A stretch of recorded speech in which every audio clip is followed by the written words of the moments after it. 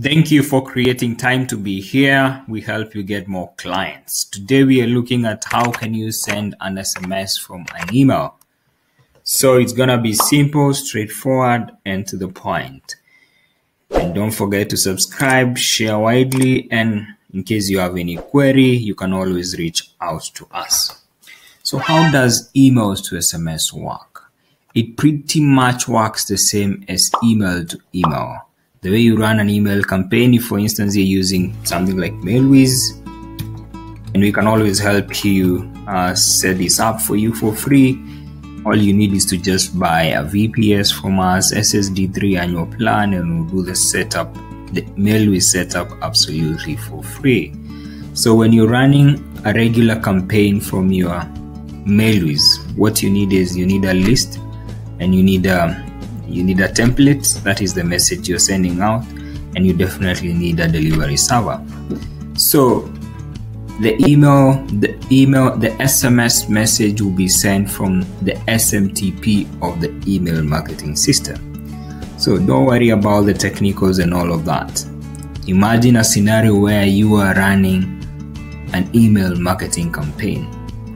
What is the difference between running an email marketing campaign and running an email to SMS campaign. The difference only comes in here. All right, so you have your phone numbers. The phone numbers are from various various providers. So you need to convert your phone numbers into an email equivalent. So basically, a phone number is simply a coded email address. Phone number is simply a coded email address. If, for instance, your phone number is something like uh, this, something like, um, let me do this real quick. Yeah, if your phone number is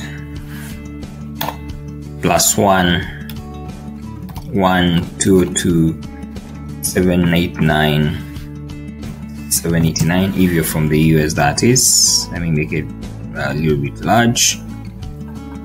If this is your phone number here all what you need to know is who is the provider of this number. If for instance this number is being provided by uh, Verizon or Virgin Mobile you just need this extension here. Copy that that is the email address. For instance this number is from um, AT&T you just need that.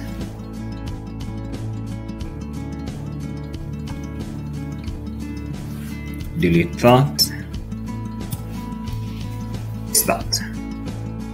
So this is the email equivalent of that phone number. Now you can have this on your list for instance you have this this is the email. This is the first name.